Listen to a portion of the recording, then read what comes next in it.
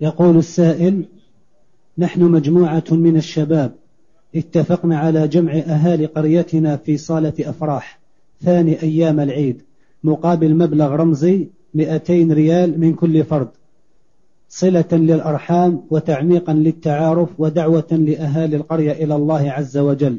ورتبنا لذلك برنامجا يحتوي على كلمة لأحد طلبة العلم ومسابقات وجوائز ومقابلات. فما رأيكم فيما اتفقنا عليه؟ بينوا لنا جزاكم الله خيرا.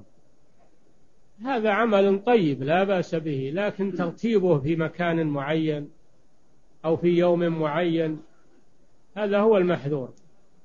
فلو جعلتوه في أيام مختلفة ما يعين منه بيوم العيد أو ثاني يوم العيد.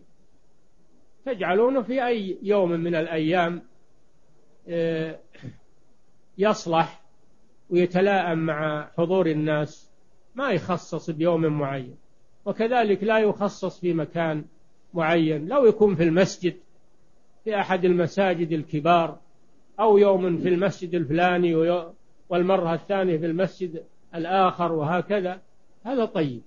المهم لا تخصونه في زمان أو في مكان بل غيروا الزمان وغيروا المكان واستمروا على هذا العمل اللي فيه وعظ وتذكير ودعوة إلى الله عز وجل. هذا خير.